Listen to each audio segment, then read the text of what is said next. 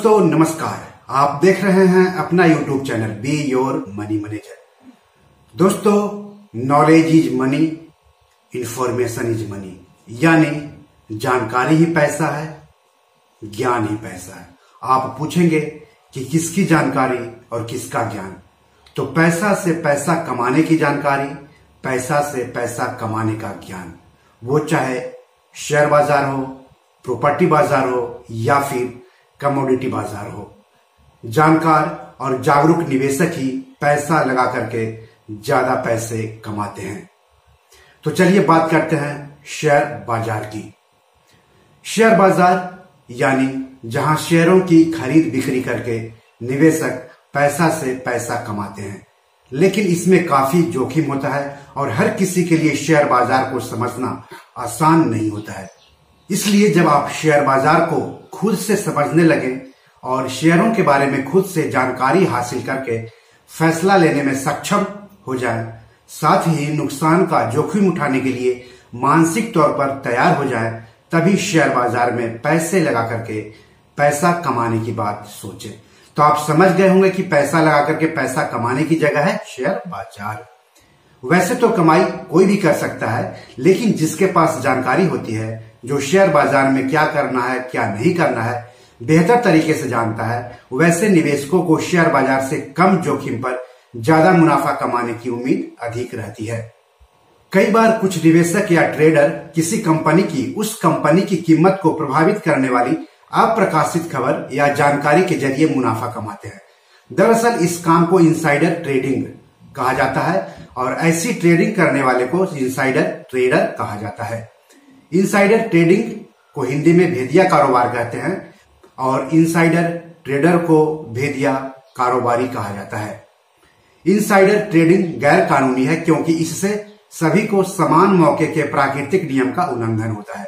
तो अगर आप शेयर बाज़ार के किसी ऐसे निवेशक या ट्रेडर को जानते हैं, जिसने किसी कंपनी की, उस कंपनी की कीमत को प्रभावित करने वाली अप्रकाशित खबर या जानकारी के ज़रिए मुनाफा कमाया है तो आपके लिए करोड़ों का इनाम पाने का मौका है। चलिए, अब पूरी खबर विस्तार से बताते हैं आपको। दरअसल मार्केट रेगुलेटर, भारतीय प्रतिभूति एवं विनिमय बोर्ड यानी सेबी ने भेदिया कारोबार निषेध नियम के तहत सूचना देने वालों को अब अधिक से अधिक 10 करोड़ रुपए का इनाम देगा। पहले यह इनाम राशि अधिक से अधिक एक करोड़ रुपए थी, यानी आपके पास दस करोड़ कमाने का मौका है और आपको सिर्फ़ करना क्या है? तो इनसाइडर ट्रेडर का नाम बताना है सेबी को 29 जून 2021 को सेबी के निदेशक मंडल की बैठक में इनाम राशि एक करोड़ से बढ़ाकर के दस करोड़ करने की मंजूरी दी गई। बैठक में सेबी भेदिया कारोबार निषेध नियमन 2015 में संशोधनों को मंजूरी देते हुए सूचना देने वाले व्यक्ति के लिए अधिकतम इनामी राशि एक करोड़ रुपए से बढ़ा करके दस करोड़ रुपए कर दी गई है। यानी आप दस करोड़ रुपए तक इनाम पा सकते हैं सिर्फ़ एक सूचना देकर के। सेबी ने कहा है कि यदि कुल इनामी राशि एक करोड़ रुपए से कम या उसके बराबर है तो सेबी द्वारा इनाम अंतिम आदेश जारी होने के बाद दिया जाएगा। बयान में कहा गया है कि यदि सूचना देने वाले व्यक्ति को इनाम की राशि एक करोड़ रुपए से अधिक है तो सेबी द्वारा अंतिम आदेश जारी होने के बाद एक करोड़ रुपए का अंतरिम इनाम दिया जा सकता है।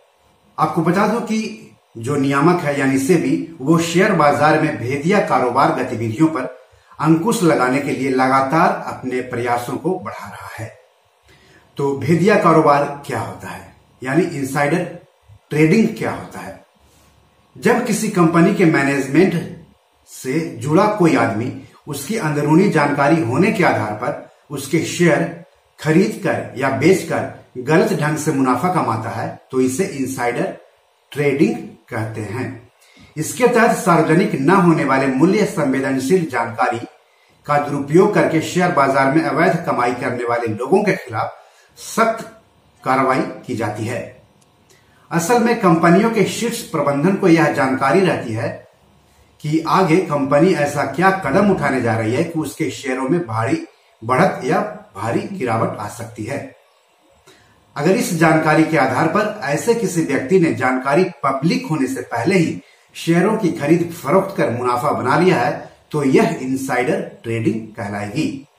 अभी हाल ही में दिग्गज आईटी कंपनी इन्फोसिस के दो कर्मचारियों पर इनसाइडर ट्रेडिंग करने का आरोप लगा है। इसके अलावा किशोर बियानी पर 10 मार्च से 20 अप्रैल 2017 की अवधि में इनसाइडर ट्रेडिंग कारोबार का आरोप था। नब्बे के दशक में हुए बड़े घोटाले के लिए चर्चित हर्षद मेहता पर भी भेदिया कारोबार का आरोप लगा है।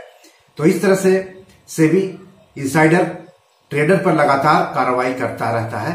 तो अगर आप इनसाइडर ट्रेडर की जानकारी सेबी को देंगे तो 10 करोड़ रुपए तक इनाम पाने का आपके पास मौका रहेगा। तो चलिए, अब आप जानना चाहते होंगे कि किसी इनसाइडर ट्रेडर की जानकारी किसको और कैसे देना है, यानी कि उसके बारे में शिकायत कैसे करनी है। तो इसके लिए आपको सेवी की शिकायत निवारण प्रणाली वेबसाइट स्कोर्स पर जाना होगा। स्कोर्स यानी सेवी कंप्लेन रेडरेस्ट सिस्टम। स्कोर्स पर शिकायत दर्ज कराने के लिए उसके पोर्टल पर आपको रजिस्टर करना होगा, यानी यूज़र नेम पासवर्ड बनाना होगा। तो स्कोर्स की जो वेबसाइट है, वो इस वीडियो के डिस्क्रिप्शन में दिया हुआ है। यूज़र नेम और पासवर्ड बनाने के साथ ही आपको अपना ज़रूरी ब्यौरा देना होगा, जैसे कि नाम, पैन, पता, मोबाइल नंबर, ईमेल आईडी वगैरह। साथ ही साथ जिसकी आप शिकायत करना चाहते हैं यानी जिसके बारे में आप सूचना देना चाहते हैं, उसका भी डिटेल्स आपको देना होगा। सेबी का हेल्पलाइन नंबर है एक आठ शून्य शून्य दो छह छह सात पाँच सात पाँच। यानी इस नंबर पर भी आप संपर्क कर सकते हैं। आपको बता दूँ कि सेबी कानून उन्नीस सौ बानवे के तहत इनसाइडर ट्रेडिंग या भेदिया कारोबार क्राइम है। सेबी ने भेदिया कारोबार के बारे में सूचना देने वाले विसल ब्लोअर्स और दूसरे मुखबिरों को इनाम देने की व्यवस्था की है। तो करोड़पति बनने का मौका है आपके पास। बस आपको इनसाइडर ट्रेडर की जानकारी देनी है, वो भी घर बैठे ही। तो बी योर मनी मैनेजर में आज इतना ही। नमस्कार।